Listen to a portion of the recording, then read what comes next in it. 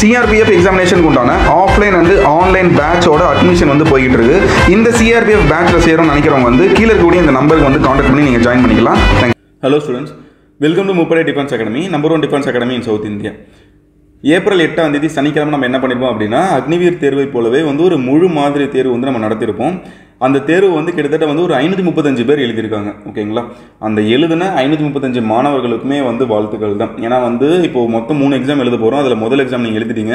அவங்க நீங்கள் எடுத்த மார்க் நீங்கள் கொஷின்ஸ் அதெல்லாம் வந்து வேறு விஷயம். ஆனால் வந்து நீங்கள் என்ன பண்ணுறீங்க எழுதணும்னு சொல்லிட்டு ஒரு முனைப்பு காட்டி வந்து எழுதிட்டீங்க. ஆமாம் தானே? அந்த இதுக்குள்ளே வந்துட்டீங்க.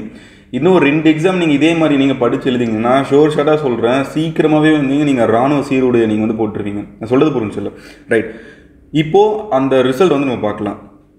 இங்கே பாருங்க ஏப்ரல் எட்டாம் தேதி நடந்த அந்த அக்னிவீர் முழு மாதிரி தேர்வுக்குனா ரிசல்ட் வந்து பார்க்கலாம். கிட்டத்தட்ட வந்து ஒரு ஐநூற்றி முப்பத்தஞ்சு பேர் வந்து அந்த தேர்வு எழுதினாங்க. ஓகேங்களா இதில் முதலாவது வந்த மாணவர் யார் அப்படின்னு சொல்லிட்டு பார்க்கும்போது திவாகர் எஸ். இவர் வந்து பாருங்க நூற்றுக்கு தொண்ணூத்தஞ்சு மார்க் போட்டிருக்காரு. பிரவீன்குமார் எம். கண்ணதாசன் எம். இவங்க ரெண்டு பேருமே வந்து நூற்றுக்கு வந்து தொண்ணூற்றி ரெண்டு புள்ளி அஞ்சு மார்க் போட்டிருக்காங்க. சத்யா ஏ. இவர் வந்து பார்த்தீங்கன்னா நூற்றுக்கு தொண்ணூற்றி ஒன்று புள்ளி அஞ்சு மார்க் போட்டிருக்காங்க. இந்த முதல் மூன்று இடம் பெற்ற அந்த மாணவர்கள் வந்து வாழ்த்துக்கள். இவருக்கு மட்டும் இல்லை இந்த ஐநூற்றி முப்பத்தஞ்சு பேருக்குமே வந்து வாழ்த்துக்கள் தான். ஏன்னா வந்து நீங்கள் அந்த எக்ஸாம் எழுதணும் அப்படின்னு சொல்லிட்டு ஒரு முனைப்பு காமிச்சு ஒரு முயற்சி எடுத்தீங்கல்ல அதுவே வந்து ஒரு மிகப்பெரிய விஷயம் தான் அதுவே வந்து ஃபஸ்ட்டு சக்ஸஸ் தான். ஓகேங்களா? இது மட்டும் இல்லாமல் இன்னும் ரெண்டு எக்ஸாம் இருக்குது ஓகேங்களா? ஏப்ரல் பத்தாம் தேதி ஒரு எக்ஸாம் நடக்க போகுது பதிமூணாம் தேதி ஒரு எக்ஸாம் நடக்க போகுது.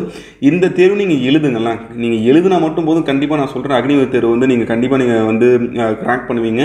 கண்டிப்பாக ஆர்மி அந்த சீருடைய வந்து நீங்கள் போடுவீங்க. நான் சொல்கிறது புரிஞ்சுல ரைட் இது இன்னொரு முக்கியமான விஷயம்னா அடுத்த டெஸ்ட்டு ஏப்ரல் பத்தாம் தேதி மத்தியானம் இரண்டு மணிலிருந்து மூன்று மணிக்கு வந்து நடக்கும். ஓகேங்களா?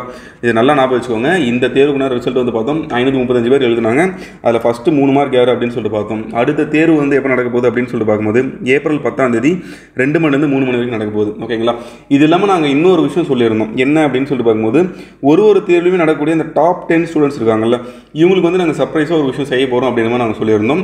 இது எல்லாமே வந்து முதல் மூன்று தேர்வு முடிஞ்சதுக்கப்புறம் அந்த எல்லாமே கம்பைல் பண்ணி நாங்கள் வந்து இவங்களுக்கு என்ன செய்ய போகிறோம் அப்படின்னு நாங்கள் சொல்கிறோம் ஓகேங்களா? ரைட் நல்லா ஞாபகம் வச்சுக்கணும். ஏப்ரல் பத்தாம் தேதி ரெண்டு மணிலேருந்து மூணு மணிக்கு வரைக்குமே வந்து ஒரு தேர்வு நடப்போகுது இந்த தேர்வில் புதுசாக சேரணும்னு நினைக்கிறவங்க வந்து என்ன பண்ணுங்கள் டிஸ்கிரிப்ஷனில் வந்து இந்த ரிஜிஸ்ட்ரேஷன் ஃபார்ம் கொடுத்துருக்கேன். அதில் வந்து நீங்கள் அதை ஃபில் பண்ணி சேர்ந்துக்கோங்க. இதில் இன்னொரு முக்கியமான ஒரு ஆச்சரியமான விஷயம் இது நான் சொல்லி ஆகணும். என்ன அப்படின்னா இந்த ஐநூற்றி முப்பத்தஞ்சு பேரில் கிட்டத்தட்ட ஒரு நாற்பது ஐம்பது பேர் வந்து இந்த சித்தூர் சித்தூர்லேருந்து எழுதியிருக்காங்க பெங்களூர்லேருந்து எழுதியிருக்காங்க. ஓகேங்களா? இந் இதெல்லாம் வந்து எங்களுக்கே வந்து ஒரு மிகப்பெரிய ஒரு ஆச்சரியமாக இருக்கிற விஷயம். ஏன்னா நாங்கள் என்ன தான் வந்து எல்லாருக்குமே வந்து சொல்லியிருந்தாலுமே வந்து நாங்கள் குறிப்பிட்டு பண்ணது வந்து தமிழ்நாடு மாணவர்கள் தான். கரெக்டாக நம்ம பசங்க உள்ளே போகணும்னு சொல்லிட்டு தான் நாங்கள் முழு முயற்சியும் நாங்கள் எடுக்கிறோம். இது என்ன சித்தூரில் இருக்கக்கூடிய மா மாணவர்களாகட்டும் பெங்களூர் இருக்கக்கூடிய மாணவர்களாகட்டும் அவங்களுமே எழுதுகிறாங்க அப்போ தமிழ்நாட்டில் இந்த வீடியோ பார்த்து எழுதாத மாணவர்கள்லாம் நீங்கள் ஒன்று புரிஞ்சுக்கோங்க. காம்படிஷன் வந்து எப்படி இருக்குது அப்படின்னு சொல்லிட்டு. ஓகேங்களா அவங்க அவங்க வந்து நல்ல மார்க் எடுத்துட்டாங்களா அப்படின்ற மாதிரி நீங்கள் கேட்காதீங்க. அவங்க வந்து எழுத ட்ரை பண்ணுறாங்க எழுத ஆரம்பிக்கிறாங்க. ஓகேங்களா நீங்களுமே எழுத ஆரம்பிங்கன்னு தான் சொல்கிறேன் வர ஏப்ரல் பத்தாம் தேதி ரெண்டு மணிலேருந்து மூணு மணிக்கு எக்ஸாம் நடக்குது. இந்த முதல் தேர்வு தவறு விட்ட மாணவர்கள் இல்லை பயத்தினால தவறு விட்ட மாணவர்கள் நீங்கள் என்ன பண்ணுங்கன்னா இந்த இரண்டாவது தேர்வு வந்து எழுதுங்க. கண்டிப்பாக சொல்கிற நல்ல மார்க் நீங்கள் எடுப்பீங்க. ஓகேங்களா? ஓகே ஏப்ரல் பத்தாம் தேதி ரெண்டு மணிலேருந்து மூணு மணி வரைக்கும் எக்ஸாம் நடக்கும் போது நல்லா படிங்க. All the best take care